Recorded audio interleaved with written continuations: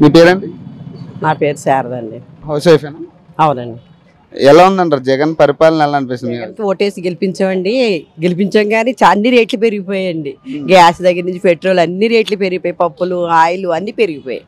పథకాలన్నీ మహిళలకు సంబంధించే పెట్టాడు కానీ పథకాలు ఇస్తున్నాడు కానీ పథకాల కంటే ఎక్కువ డబ్బులు ఇలా పోతున్నాయి కదండి. మాకు పథకాలు ఇచ్చిన ఫ- ఫలితం ఏముందండి గ్యాసు పెట్రోలు పప్పులు ఆయిల్ అన్ని పెరిగిపోయాయి. సామాన్యుడి బతకడం చాలా కష్టం. మీకు డాక్రా గ్రూప్ లోన్లు అయి ఉండే కదా రుణమాఫీ ఉంటాయి ఉంటాయి. అవి ఎంత అండి అవి ఇచ్చినా కానీ ఈ సంవత్సరం వచ్చేటప్పటికి ఎంత అతను ఇచ్చేటప్పటికి చాలా అయిపోతుంది.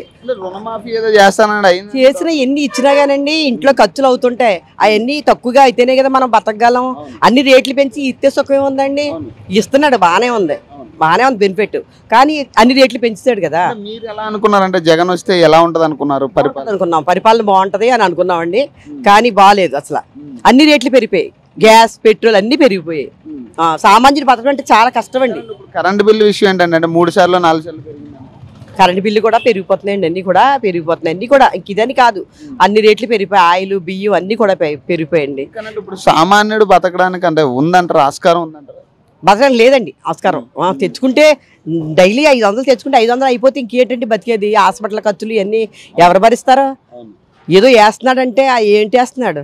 ఆ వేస్తున్నాడు బాగానే ఉంది. కానీ ఆ ఎన్నాటికి వస్తాయండి. ఎన్ని రోజులకి వస్తుంది? ఇల్లు స్థలాలు? ఇస్తున్నాడు ఇస్తే ఎవరైనా ఇస్తున్నారండి వచ్చినాడు పార్టీలోకి వస్తే ఎవరైనా ఇస్తున్నాడండి. ప్రభుత్వం ఎలా అనిపించిందండి? అంటే చంద్రబాబు నాయుడు హయాంలో ఎవడైనా అంతే అండి వచ్చినాక వచ్చే వరకు అంటున్నారు వచ్చాక ఇదే పరిస్థితి ఉంటుందండి.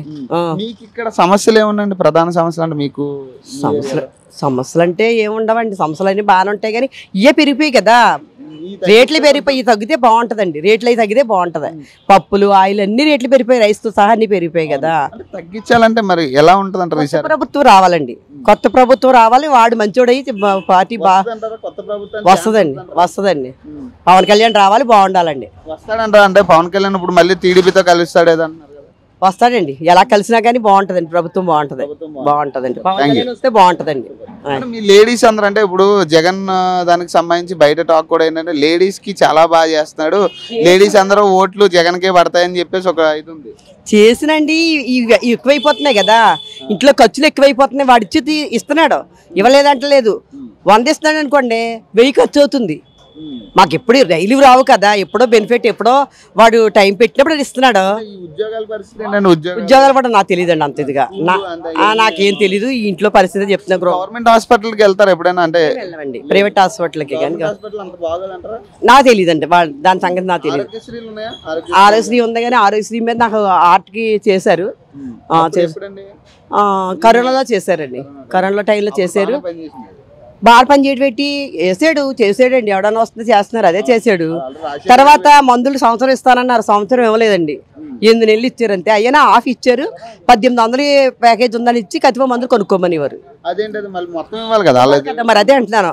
మరి మొత్తం ఇవ్వాలి కదా.